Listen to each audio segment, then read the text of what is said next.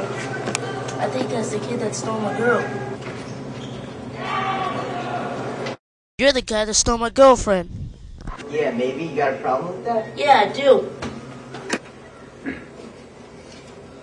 Hey, what's going on? You stole my girlfriend. Let's settle this somewhere else outside of school.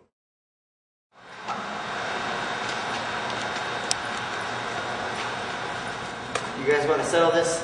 Let's settle it like men. Fight.